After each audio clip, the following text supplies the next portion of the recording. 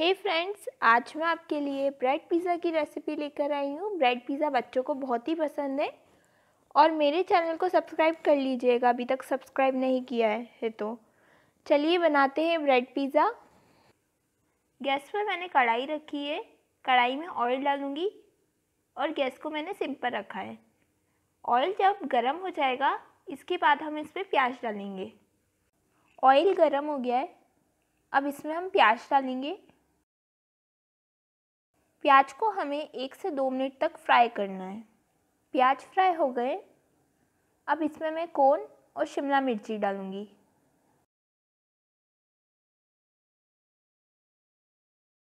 इसको भी दो मिनट तक फ्राई करेंगे। प्याज, कोन और कैप्सिकम अच्छे से फ्राई हो गए। अब इसमें मैं एक चम्मच काला नमक डाल रही हूँ। एक चम्मच लाल मिर्ची पाउडर डालूँगी। एक चम्मच धनिया पाउडर डालूँगी। एक चम्मच गरम मसाला पाउडर डाल रही हूँ। आधा चम्मच काली मिर्ची पाउडर डाल रही हूँ। एक चम्मच अमचूर पाउडर डाल रही हूँ। एक चम्मच जीरा पाउडर डालूँगी। अब इन सबको अच्छे से मिक्स कर दूँगी। ये अच्छे से मिक्स हो गया है। अब गैस को हम बंद कर देंगे और इसको ठंडा होने देंगे। पैन में मैंने घी डाला है। आप चाहे तो बटर भी यूज़ कर सकते हैं। घी को गरम करेंगे। अब इसमें मैं ब्रेड सेकूँगी। एक साइड से सेकना है हमें ब्रेड को। एक साइड से ब्रेड सेक गई है। अब हम इसको बाहर निकाल लेंगे। इसी तरह हम दूसरी ब्रेड को भी ऐसे ही सेकेंगे। ये एक साइड से जो हमने ब्रेड सेकी थी, अब इस पर हम सॉस लगा रहे हैं।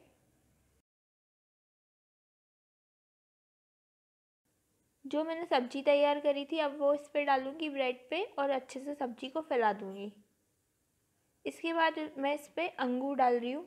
मैंने अंगूर का यूज़ करा है इस पर तो मैं, आप चाहे तो यूज़ करना चाहते हैं तो आप अंगूर का यूज़ कर सकते हैं, या आप अनार भी ले सकते हैंगे। यहाँ पर मैं चीज़ स्लाइस का यूज़ कर रही हूँ। अब ब्रेड पर मैं चीज़ स्लाइस को रखूँगी। ये गैस पर मैंने पेन रखा है और गैस को मैंने सिम पर रखा है। और जो मैंने ब्रेड तैयार करी है, वो मैं इस पर रखूँगी।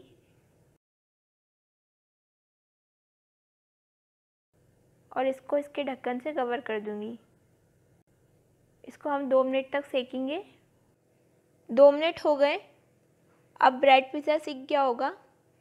अब हम गैस को बंद कर देते हैं और ब्रेड पिज़्ज़ा को बाहर निकाल लेंगे प्लेट में।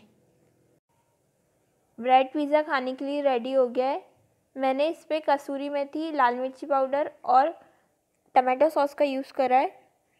अगर आपको ब्रेड पिज़्ज़ा की रेसिपी पसंद आई हो तो मेरे चैनल को सब्सक्राइब कीजिएगा, लाइक और शेयर भी कीजिएगा वीडियो को। Thank you.